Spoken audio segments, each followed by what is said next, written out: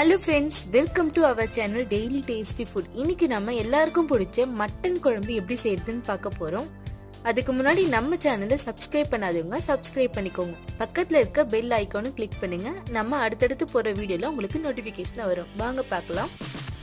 நம்ம குழம்பு செய்யறதுக்கு முன்னாடி மசாலாவை ஃப்ரெஷ்ஷாக அரைச்சி செஞ்சுக்கலாம். மசாலா வந்து ஃப்ரெஷ்ஷாக இருந்துச்சுன்னா நல்ல டேஸ்ட்டாகவும் இருக்கும் வாசனையாகவும் இருக்கும். அதுக்கு நான் ஒன்றரை டேபிள் ஸ்பூன் தனியா சேர்த்துருக்கேன். முழு தனியா. அரை டேபிள் ஸ்பூன் சோம்பு சேர்த்துருக்கேன். அரை டேபிள் ஸ்பூன் சீரகம் சேர்த்துருக்கேன். அரை டேபிள் ஸ்பூன் சீரகம் சேர்த்துக்கோங்க. சீரகம் சேர்த்துட்டு ஒரு அஞ்சுலேருந்து ஆறு ஏழு காஞ்ச மிளகாய் சேர்த்துக்கிறேன். வரமிளகாய் வரமிளகாய் சேர்த்துட்டு நல்லா வறுத்துக்கோங்க. அதோடைய வாசனை வர அளவுக்கு நல்லா வறுத்துக்கோங்க. சீரகம் எல்லாம் வெடிச்சு வரும். அந்த மாதிரி வறுத்துக்கோங்க. இப்போ நாம் வறுத்து வச்சிருக்க அந்த மசாலாவெல்லாம் மிக்சி ஜாரில் சேர்த்துக்கிறேன்.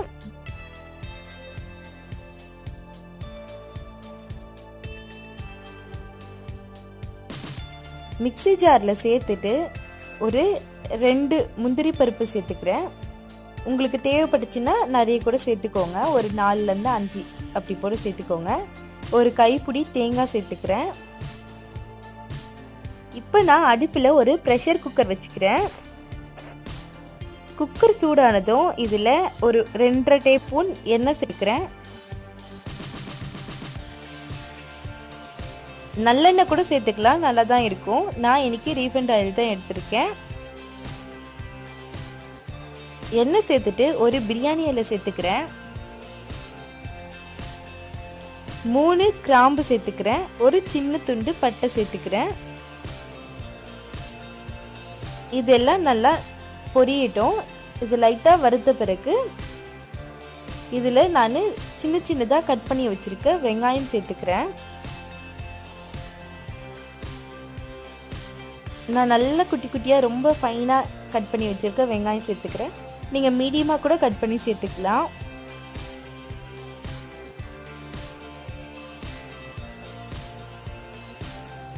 வெங்காயத்தை சேர்த்துட்டு நல்லா கலந்து விட்டுக்கோங்க.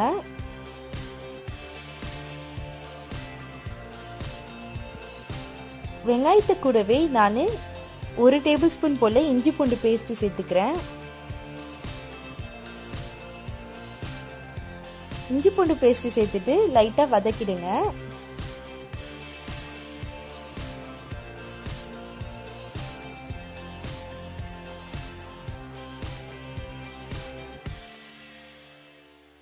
இப்போ ஒரு முக்கால் டேபிள் ஸ்பூன் போல கரம் மசாலா சேர்த்துக்கிறேன்.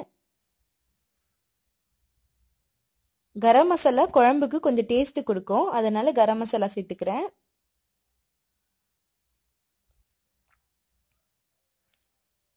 இப்போ வெங்காயம் எல்லாம் நல்லா வதங்கினது தக்காளி சேர்த்துக்கிறேன். தக்காளியும் நான் நல்லா ஃபைனாக சாப் பண்ணி வச்சுருக்கேன். நான்வெஜ்ஜுக்கு வந்து வாயில் வெங்காயம் தக்காளியெல்லாம் கடிப்படாமல் இருந்தால் நல்லாயிருக்கும் அப்படின்றதுனால நான் ரொம்பவே சின்ன சின்ன பீஸாக கட் பண்ணி சேர்த்துக்கிறேன். சேர்த்துட்டு நல்லா கலந்து விட்டுடுங்க. இப்போ நம்ம அரைச்சி வச்சிருக்கிற மசாலா சேர்த்துக்கிறேன். மசாலாவை சேர்த்துட்டு நல்லா வதக்கிடுங்க.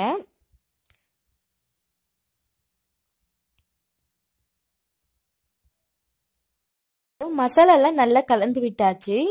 மசாலா கலந்துட்ட பிறகு நான் அரை கிலோ போல மட்டன் எடுத்திருக்கேன். மட்டனை வந்து வாஷ் பண்ணி சேர்த்துக்கோங்க.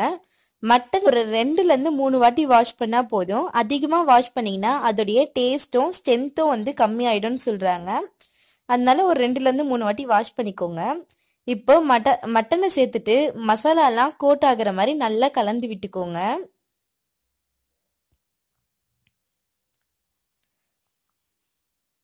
ஃபுல்லாக நல்லா கலந்து விட்டுட்ட பிறகு குழம்புக்கு தேவையான அளவுக்கு உப்பு சேர்த்துக்கோங்க. அதே மாதிரி காரம்லாம் வந்து உங்களுக்கு போதுமான அளவாக இருந்துச்சுன்னா நம்ம இது இந்த காரமே விட்டுடலாம். ஏன்னா நம்ம மசாலா அரைக்கும் போதே வந்து காஞ்ச மிளகாய் சேர்த்து தான் அரைச்சோம்.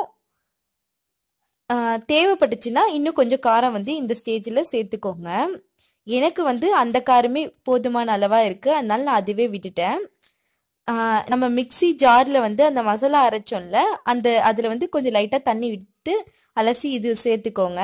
இப்போ குழம்புக்கு தேவையான தண்ணி சேர்த்துட்டு நல்லா கலந்து விட்டுக்கோங்க. உப்பு காரம்லாம் ஃபுல்லாக வந்து செட் ஆகிற மாதிரி நல்லா கலந்து விட்டுக்கோங்க. இப்போ குழம்புக்கு தேவையான தண்ணி எல்லாம் சேர்த்துட்டு நல்லா கலந்து விட்டுடுங்க. இந்த ஸ்டேஜில் உப்பு காரம் எல்லாமே கரெக்டாக இருக்கான்னு செக் பண்ணி பார்த்துக்கோங்க. கம்மியாக இருந்துச்சுன்னா சேர்த்துக்கோங்க. சேர்த்துட்டு நல்லா கலந்து விட்டுட்டு மூடி போட்டு நாலுலேருந்து அஞ்சு விசில் போல் விட்டு எடுத்துக்கோங்க.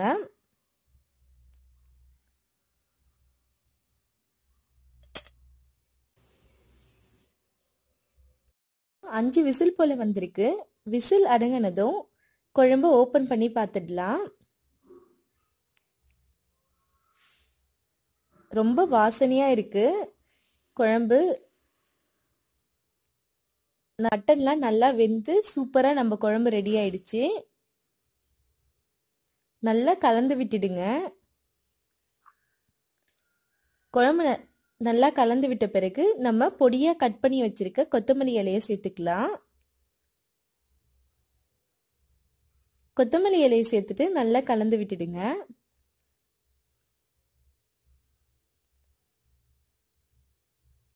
ரொம்பவே சூப்பராக நம்ம மட்டன் குழம்பு ரெடி ஆயிடுச்சு.